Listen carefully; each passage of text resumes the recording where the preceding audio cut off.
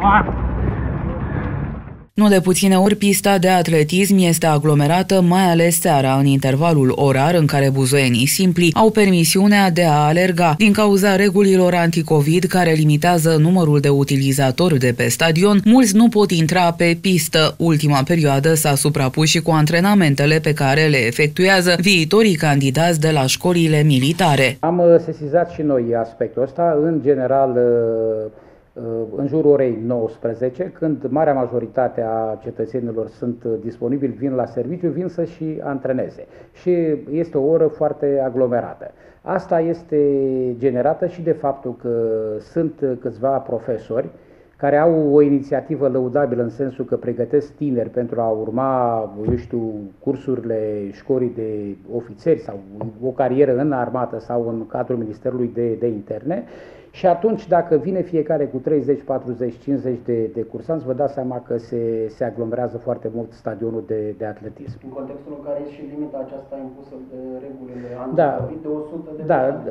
Uh, da, cam 100 de persoane ca să respectăm și reglementările în, în vigoare. De altfel, este stabilit și fiecare poate să citească și regulamentul pe care noi l-am făcut pentru accesul în, pe stadion, că ar trebui să fie maxim 100 de persoane.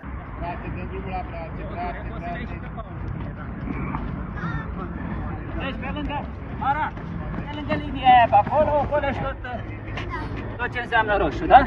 Este și motivul pentru care responsabilii de la Clubul Gloria le-au transmis profesorilor să împartă pe serii buzoienii care se pregătesc pentru probele fizice impuse la admiterea în unitățile de învățământ militar. Am găsit ca o primă soluție chiar în dimineața asta. Am vorbit cu compartimentul de specialitate ca să notificăm uh, acești domni profesori și să-i, uh, să rugăm să împartă cursanții pe care dumnealor îi iau la pregătire în grupe de, în grupe de câte câte 10, ca să putem să fluidizăm un pic accesul pe, pe stadion și să permitem și cetățenilor care vin, eu știu, individual 1, 2, 3, să poată să-și desfășoare antrenamentele zilnice. O altă problemă sesizată este cea a limitei de folosire a culoarelor pentru cetățenii simpli. În acest context este posibilă suplimentarea spațiului de alergare.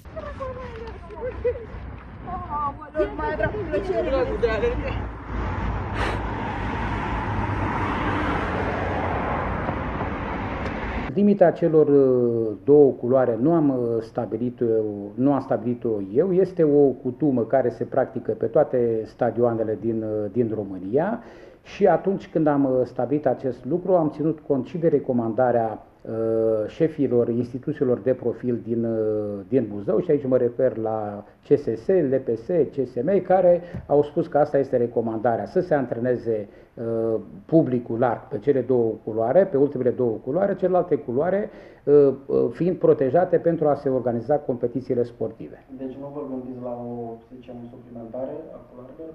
Deci, uh, pentru că m-ați întrebat, o să, să mă gândesc, o să vedem și care este recomandarea uh, specialiștilor în domeniu și poate mai uh, eliberăm poate în orele astea de vârf încă două culoare. O să mă gândesc la, la chestiunea asta. Pe de altă parte, nu este exclusă pe viitor impunerea unei taxe modice de acces pe stadionul de atletism. Există și această posibilitate. Deocamdată noi percepem o, o taxă celor care se, instituțiilor care se, se antrenează acolo, cu care avem o formă de, de colaborare, o să mă gândesc la, și la ce m-ați întrebat dumneavoastră, dacă o să percepem o taxă pentru accesul pe, pe stadion. Până acum peste 6.000 de buzoieni și-au procurat permise de acces. Stadionul de atletism a fost redeschis în luna octombrie anului trecut, după ce a trecut printr-un amplu proces de reabilitare și modernizare.